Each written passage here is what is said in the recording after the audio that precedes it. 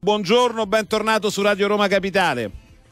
Sì, grazie, buongiorno, buongiorno, a voi e a tutti gli ascoltatori. Presidente, prima di entrare dentro sue, il lavoro suo amministrativo, che è soprattutto rivolto alla mobilità, e quindi parleremo di questa novità annunciata del ticket per entrare nel centro storico, la voglio brevemente coinvolgerla nel dibattito sulla sicurezza nella nostra città che stamattina ha visto decine di nostri ascoltatori eh, confrontarsi, no? anche i dati di Milano. Roma è diciamo ci sono meno reati che Milano, ieri il Sole 24 ore eh, certificava e tra i nostri ascoltatori si è aperto un dibattito sulla sicurezza percepita e la sicurezza vera. Lei come, come, ferma il pendolo tra la sicurezza vera e, sicur- e l'insicurezza percepita? Secondo lei Roma, a che punto siamo? Sapendo che il comune, ha, io l'ho detto prima, ha pochissime competenze sulla sicurezza, può intervenire indirettamente, magari illuminando una strada in più invece che in meno, mettendo i vigili urbani, ma insomma la sicurezza non è una competenza che fa capo al sindaco eh, e quindi il comune su questo non ha un ruolo fondamentale. Pronto? Mi sì, sentite? Sì, sì. sì, sì, sì. Dicevo, come ricordava anche lei, è chiaro che il tema della sicurezza non, non è un tema solamente di competenza di, di, di, un comune, di un ente locale, però sicuramente l'ente locale può fare molto. Mi sento di dire che comunque ancora c'è tanto lavoro da fare dal punto di vista della sicurezza, soprattutto se la intendiamo a 360 gradi, quindi anche sicurezza stradale eh, e così via. Quindi eh, bene i dati, però sicuramente dobbiamo, devono essere da stimolo per aumentare il nostro nostro, nostro impegno perché lo dico anche da cittadino, molto spesso la città di Roma sicuramente non è percepita come una città sicura, però noi ci stiamo impegnando anche con la polizia locale, devo dire che abbiamo trovato una comunanza di vedute su tanti temi e ovviamente piano piano cercheremo di, di, affrontarli, di, affrontarli, tutti per quanto appunto riguarda la nostra competenza. Poi è importante, ma so che chi tra virgolette più in alto di me già lo sta facendo, il coordinamento con, con, con, con gli altri organi superiori dello Stato, eh, prefettura, questura e così via per quanto riguarda i grandi eventi eh, e via dicendo. Quindi eh, è un tema sicuramente importante soprattutto in, in questi mesi, in questi anni, ahimè, quello della sicurezza sul quale è necessario sicuramente il coordinamento e l'impegno di tutti come in realtà sta già, sta già avvenendo. Venendo al suo lavoro in commissione, due domande. La prima è questo ticket per entrare nel centro storico, ticket giornaliero che sostituirà la ZTL, diciamo, e anche il pagamento annuale per chi ha necessità, rientra in determinate e... categorie. No. Eh, oppure è un'aggiunta, cioè se Paolo deve andare domani in Campidoglio dice gli facciamo paga un tot ed entra con la macchina.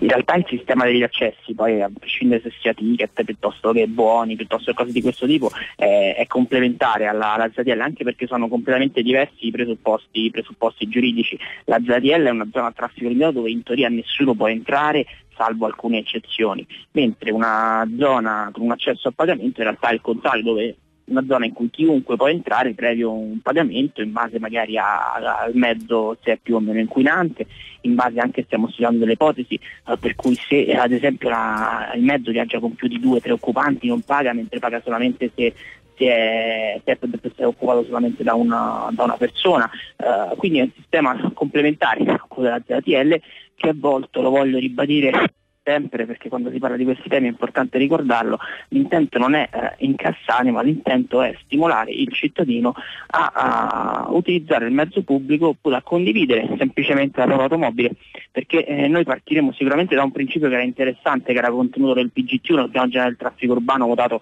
dalla recente consuetura, che era quello di dare un certo numero di accessi comunque gratuiti ad ognuno e poi cominciare a pagare dalla, dal cinquantesimo piuttosto che dal centesimo uh, accesso. Questo significa per esempio che banalmente se due colleghi si mettono d'accordo, due colleghi di lavoro e un giorno prende la macchina una persona, un giorno prende la macchina l'altra, semplicemente nessuno pagherà.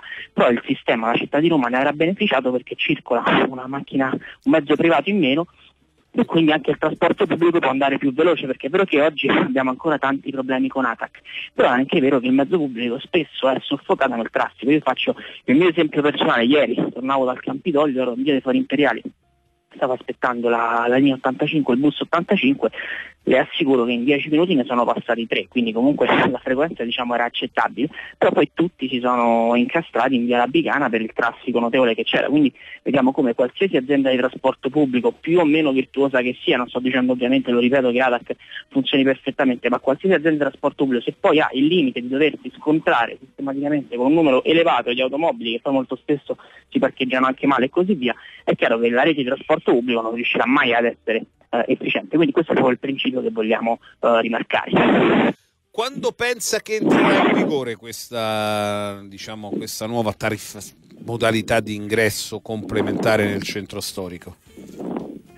Scusi, ho perso la domanda, quanto pensa? Quando è che pensate di far entrare, di rendere operativo questo ticket, diciamo, complementare alla ZTL per l'ingresso nel... Sicuramente la seconda metà del prossimo anno, uh, perché appunto nel frattempo stiamo la- lavorando sul miglioramento della rete di trasporto pubblico, uh, nel frattempo aprire la stazione metro C San Giovanni, quindi chiaramente è anche importante comunque dare delle alternative uh, ai, ai, cittadini, quindi probabilmente ci stiamo orientando per la seconda metà del 2018, quindi diciamo tendenzialmente tra 12 mesi ecco. Senta, orientativamente. Tavolo tra il sindaco di Roma e il ministro Calenda, ci sono tanti dossier. Dal punto di vista della mobilità, cosa, cosa andrete a chiedere come amministrazione comunale in questo tavolo con il Ministero dello Ma Sviluppo? Con gli organi di governo anche la, l'assessore Mireo già sta avviato un'interlocuzione molto, molto importante e penso anche molto proficua fino ad oggi. È chiaro che su Roma penso che gli sforzi di tutti gli enti, tutti gli enti governo, regione piuttosto che, che, comune, a prescindere dall'appartenenza politica, debbano concentrare i propri sforzi per aumentare il livello di infrastrutture del trasporto pubblico della nostra città. Eh, scontiamo un ritardo. Cioè, chiederete soldi per metropolitane?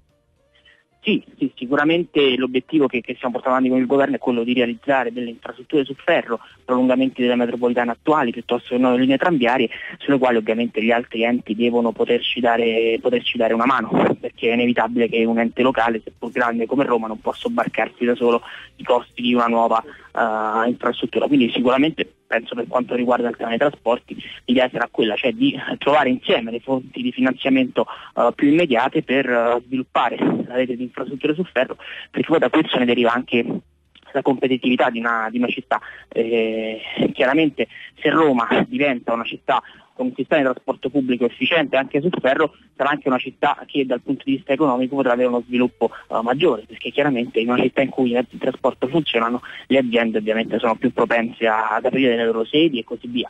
Eh, recente, recentemente leggevo il caso di Amazon che eh, nel dover spostare la propria sede, eh, questo ovviamente negli Stati Uniti, chiaramente ha detto io la sposto solamente in una città che ha una rete di ciclabili eh, efficienti, quindi vediamo come parlare di trasporti in realtà vuol dire anche parlare dello sviluppo economico di una città e quindi per questo penso che eh, con il governo avremo sicuramente una uh, unità di vedute. Grazie Enrico Stefano, consigliere del Movimento 5 Stelle e presidente della Commissione Mobilità in Campidoglio.